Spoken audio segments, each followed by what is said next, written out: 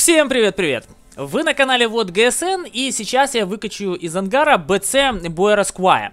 Он сейчас стоит на продаже за 10 косарей голды, но что-то мне подсказывает, что на момент, когда вы будете смотреть данное видео, вы уже будете видеть немножечко другое предложение по ценнику, ну а в частности сниженную цену на 500 голдишки, где он тут, вот он, за 9,5, скорее всего, будете видеть это предложение.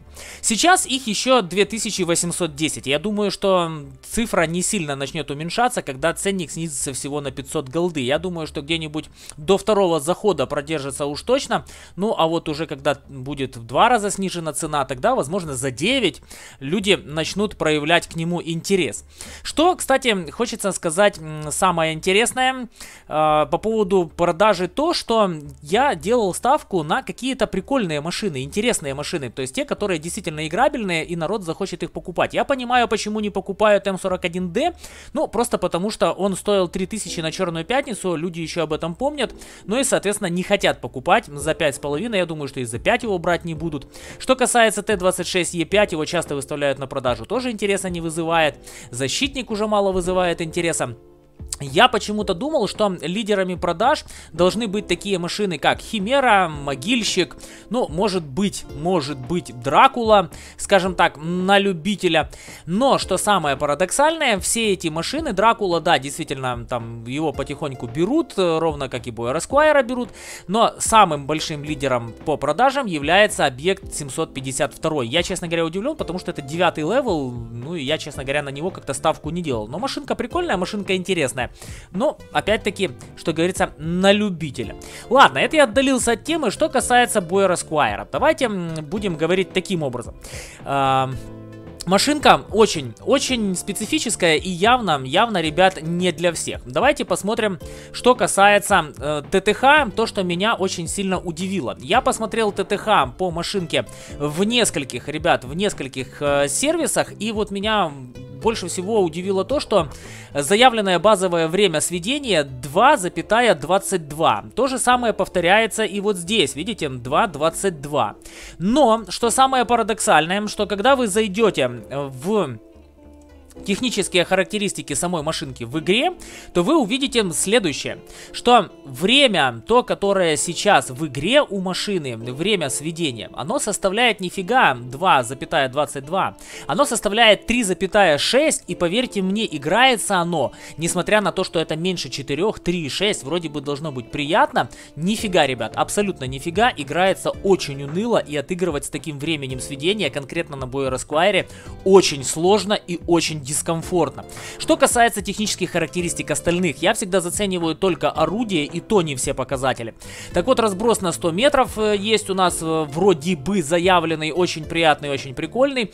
Урон в минуту у нас довольно-таки, в принципе, для среднего танка нормальный. Время перезарядки магазина очень-очень тяжелое, 18,5, ребят. Это при том, что брони у танка нет прям совсем. Прожить 18,5 секунд с учетом того, что у меня установлены амуниция, оборудка.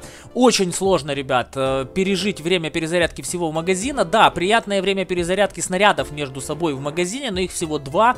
И, соответственно, за 2 секунды, да, вы делаете 640 среднего урона. Ну, будем говорить 600 для ровного счета. Но на восьмом левеле, с учетом прочности всех машин, я бы сказал, что это ни о чем.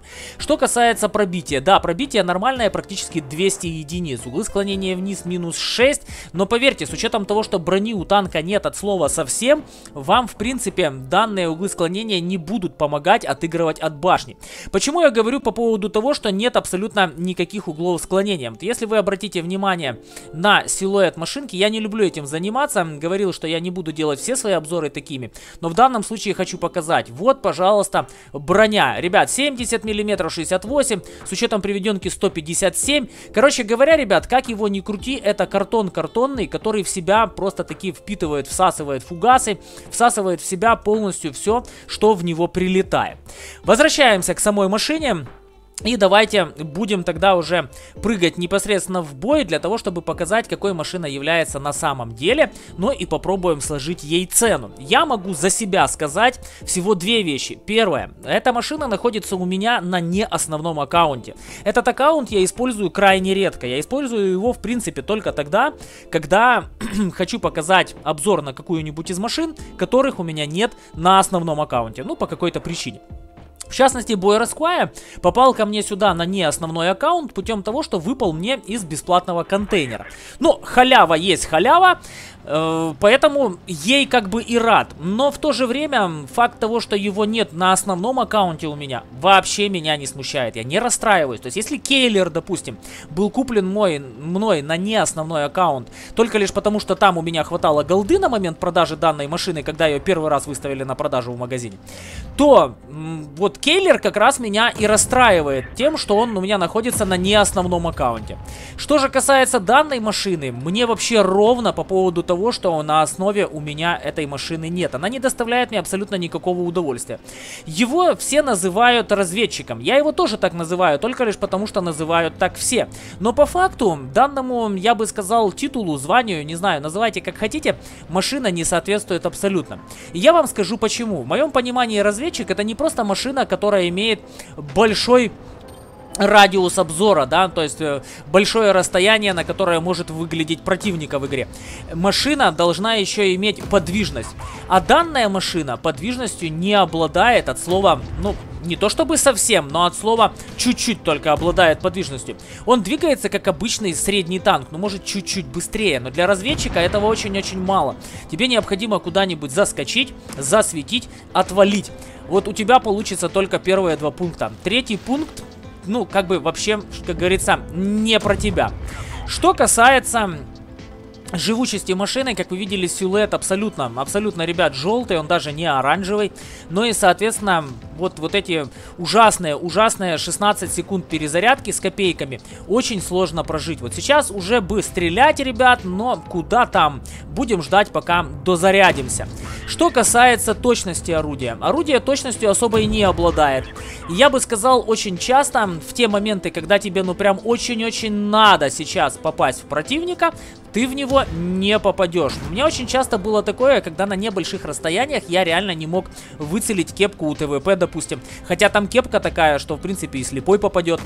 Я бы сказал так, вот дай бы ему хоть что-нибудь, и тогда машина была бы куда более годная. А так, в целом, я могу сказать следующее, что машинка явно не стоит 10 косарей золота. Я бы даже так сказал, я перехожу на голду, потому что 2 ТТшника, 53 ну, короче говоря, сейчас мне будет не сильно сладко. Так вот, ребят, десятка голды это очень-очень дорого для данного аппарата. Ну, прям вот совсем дорого. Его реальная цена, вот по ощущениям того, как он играется, я бы сказал, ну вот в лучшем случае, ребят, в лучшем случае где-то косарей 6,5. Но за такую цену, понятное дело, его никто продавать не будет. Потому что это будет, ну, слишком, слишком, ребят, дешево. Я для себя это понимаю, что я сильно бурею с ценником. Но, ребят, машинка не стоит того, чтобы за нее отдавать 10 косарей. 9,5, да даже 9. Ну, просто она того не стоит. Вы можете сказать, что блин, да вот сейчас на обзоре абсолютно там ничего не делая, особо не стараясь, ты уже сделал 4 фрага. Ребят, ну какие нафиг 4 фрага? Я добирал недобитков в первую очередь, да, то есть, ну, по большому счету.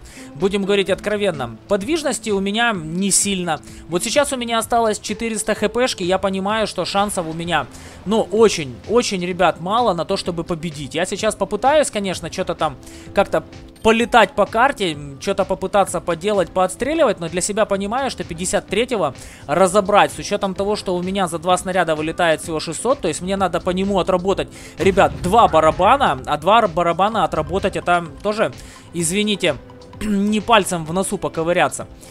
Поэтому, ребятки, Машинка на очень-очень большого любителя. Вот здесь сейчас у меня трабл заключается в том, что у меня не хватает углов склонения орудия.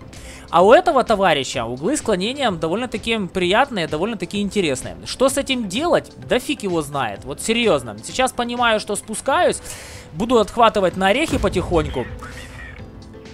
Эх, братки, чуть-чуть, чуть-чуть. И вот теперь понимаете, смотрите, 16 секунд перезарядка. Что с этим делать? Куда бежать? Куда лететь? Как отваливать от этого товарища, так чтобы он не успел меня добрать? Я ума не приложу. Вот такая вот беда. Оставалось совсем чуть-чуть, 65 хпшки у него забрать, была бы победа, но, к сожалению, поражение. И это правда про Буэра Сквайра. Нравится она кому-то или не нравится, пишите в комментариях, пишите, купили ли вы себе эту машину или планируете ли вы ее взять. А если вы обладаете данной машиной и вам есть что возразить, обязательно пишите в комментариях, потому что ребята, которые сейчас пытаются принять для себя решение покупать или не покупать, явно рассчитывают на мнение не только мое. 2163 единицы урона, 4 фрага, но насколько они заслуженные, я уже свое мнение высказал. Что касается по фарму, я не нашел коэффициент фарма нигде в специальных там э, сайтиках, сравнительных табличках и так далее. Но вот какой фарм есть, такой есть. 65 с половиной тысяч с учетом активированного прем-аккаунта. Что касается результативности в команде, я занимаю второе место, ребят, с учетом того, что прожил дольше всех. И объект 274А меня опередил. Ну, я бы сказал, что не сильно существенно, но в целом, ребят, на один мой снаряд, да, там по урону. Может даже чутка больше. Короче говоря, ребят, вот такой вот он, честный обзор на Буэра Сквайра, который сейчас продают на новогоднем аукционе. Я бы остро не рекомендовал приобретать данную машинку, потому что, ребят, есть еще две волны, которые ждут нас в будущем а, после вот этой первой волны танков. И поверьте, за свои 9 или 9 с половиной тысячи золота вы сможете купить себе на восьмой level абсолютно таки гораздо более годную машинку. Если вы ищете fun а, присмотритесь, допустим, к тому же могильщику, если все остальное у вас есть. Могильщик действительно доставляет удовольствие, несмотря на то, что это семерка, а не восьмерка, и машина не рассчитана на fun.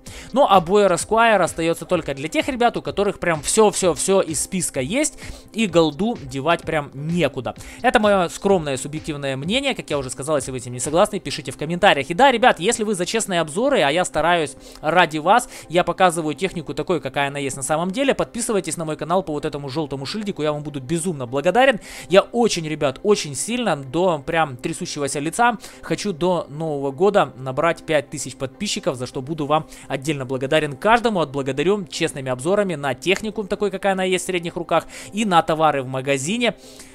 Ничего не приукрашая, меня никто не проплачивает. На данный момент все. Всех благ, всего хорошего вам мира, ну и обязательно спокойствия. Пока-пока.